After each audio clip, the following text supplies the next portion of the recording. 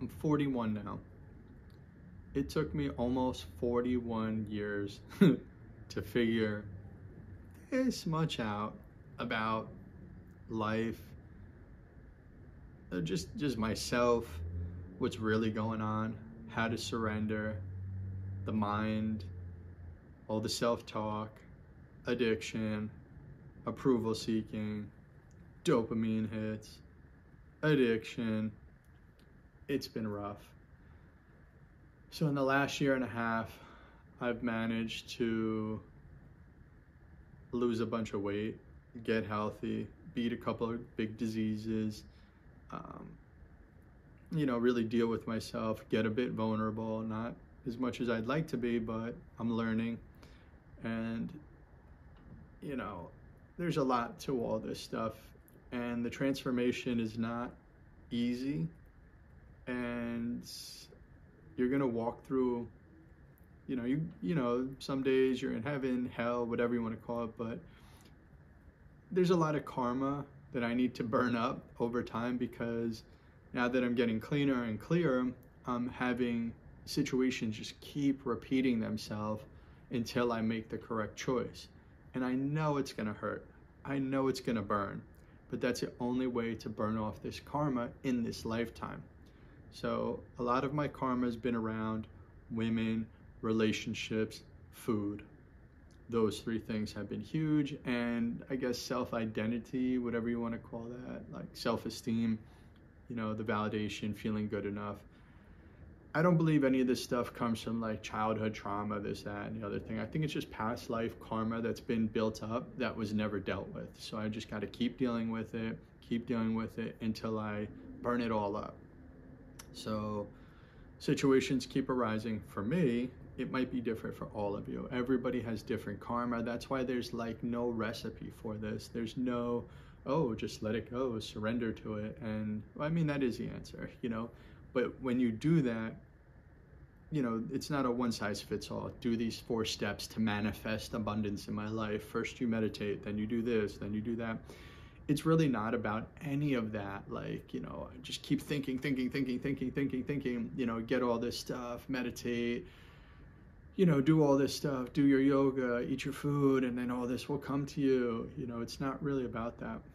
You know, it's about really surrendering, not just your mind telling you to surrender and using your mind to reprogram your brain and your subconscious and hack your brain and do all these biohacks and do all these protocols and step one, step two, do this, do that, do this, do that. It'll help you get there yeah, they're all great practices to keep you grounded, but what you really, really need to do is get right within and just be 100% authentic at all times with yourself and just really get out of your mind.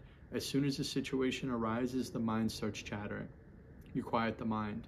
Okay, I meditated away. Okay, it's gone. Okay, how am I going to get a million dollars? meditate. Okay, that's gone. I'm going to start a business and get meditate and say I need this and do all my mantras.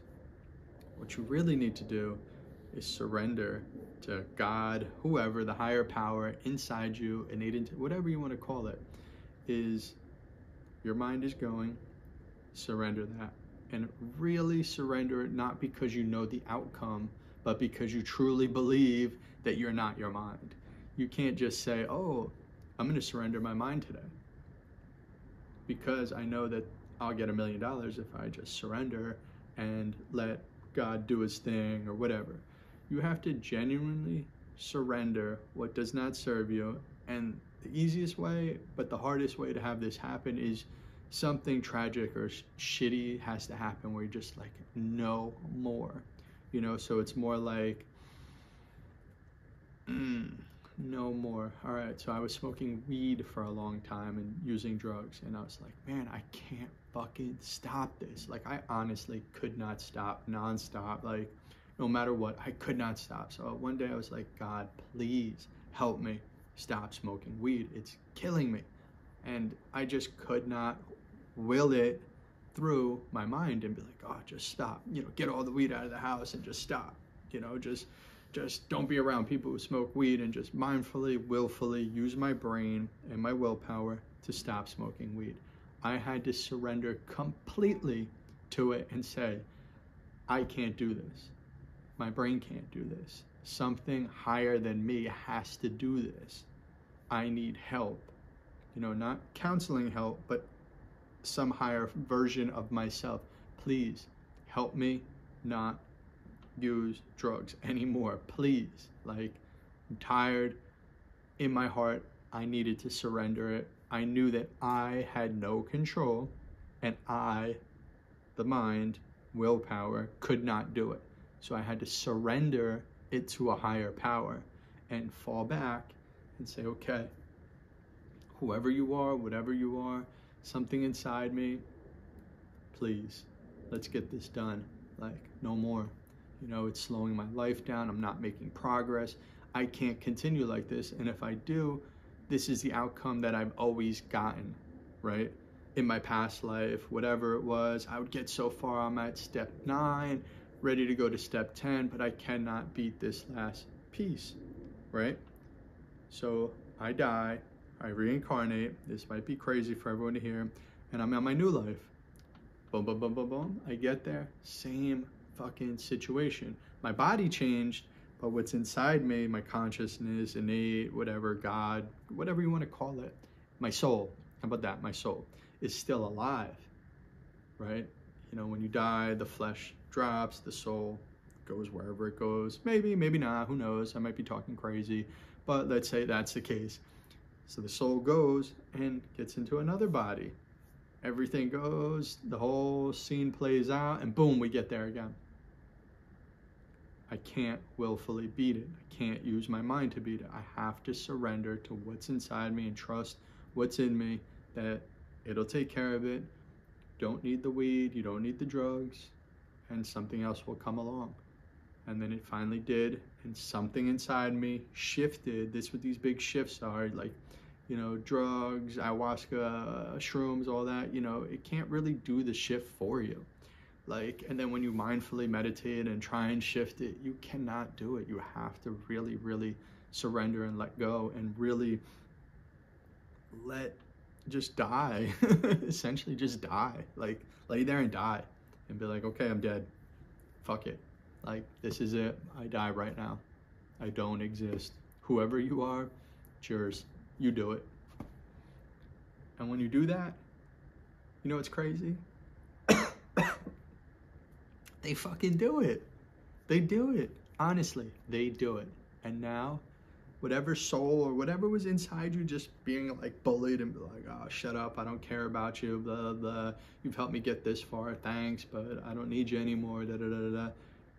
You ask for that help, you surrender to it, and that life force like blasts through your body and your aura goes up and the glow comes and you've really beaten it and you've really had that shift and something in you will just tell you you don't need it anymore. You won't do it anymore. And then things will change around you. It's crazy because your vibration will go from this low vibration feeling all these things to oh oh this is what life is. Pretty cool. I'll take some of that. I'll take some of that. And then you have to be careful because another addiction or something else will take the place of the marijuana whether it's PMO, porn, masturbation, orgasm, sex, gambling, dopamine hits, Instagram, social media, validation, food, whatever it might be. There is something for everybody to take your mind away. There's so much stimulation out there that it could be anything, right?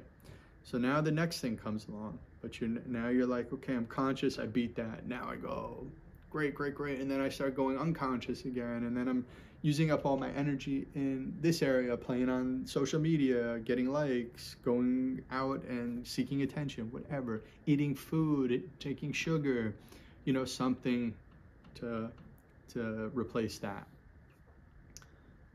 Hopefully, you realize this because you're woke, you know, and you're being real and whatever.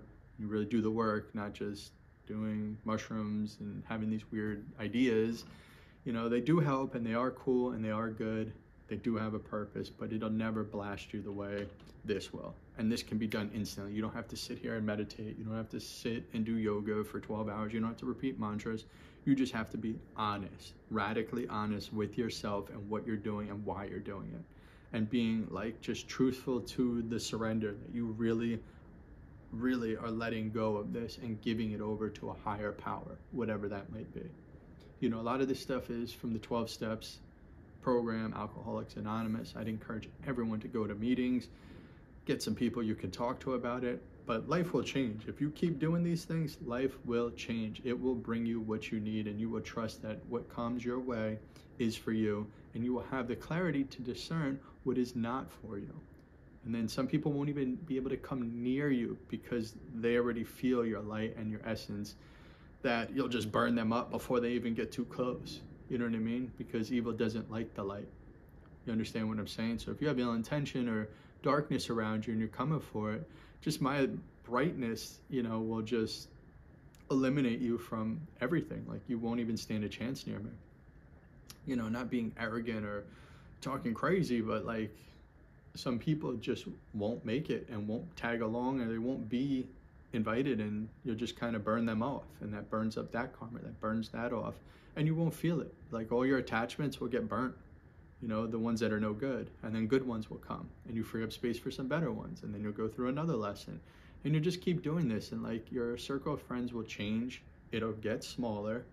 You'll realize why you're around certain people and what's really going on and do i really connect with them? And you know is this more for mind? Is this for ego? Is this for surrendering? Because if you really surrender down and you let go and let the soul take over or whatever take over it'll just keep pulling you in the right direction. Like it'll just be like okay we're to eat this food right now. Cool. You sir jeff have no choice. This is what we're to eat. Okay. You know we're to walk down to the park today. Okay. Um, you're to change professions right now. Okay. But, but but i make a million dollars right now. Like why would I take that job or why would I even look for a new job? Trust me, this is the divine path. Or you can stay stuck here in your job, in your mind, because you have security and you make a hundred thousand or a million dollars. You have a wife, you have your kids, you've completed everything in life, and da da da da da. Or you can surrender to the truth and keep moving through life the way you're supposed to and burning up all that old karma, all that old oil needs to get burned. So when you come back later, you don't have to deal with this again and deal with it again and just keep living and going to the peak. And then I'm stuck in this mundane life. This is where I am. This is how as it goes. Is this all there is? No, there's so much more. And it'll always keep unfolding and unfolding because everything's constantly in motion. So you have to just keep letting go, keep surrendering each moment you surrender, if you sit there for the day and you just surrender down every single moment, it's wild what unfolds. It's very similar to uh, a good mushroom trip if you're doing it for that reason. You know, you just keep seeing everything and surrender it down, surrender it down. Why am I really doing this? And really take a hard look because now what you're doing is you're shining the light on all your insecurities. You're really being honest you don't have to tell the world you can journal it it's a little different but if you speak it and look at it and are honest with it it'll burn up pretty quickly i didn't have to meditate for 12 years in a cave i didn't have to you know write about it i just needed to know and be honest and look at these things and keep being honest because some shit you just don't want to look at. You're like, nah, not me. You know, maybe a little bit, but it feels good, so I'll do it. You know, I, I do love the female attraction, so you know, I just keep milking that. But then I realized where it was depleting me and my semen retention journey wasn't allowing me to go higher. I'm like, where am I missing? Where am I lacking? What am I doing that's not helping me progress at a, a faster pace? And most people will stop there. They'll get the female attention, they'll abuse it until they relapse, make a poor decision, fall victim to lust, and either start over or just get off the path and then you know, you're shit out of luck from there. That's a whole another story. But it's the truth.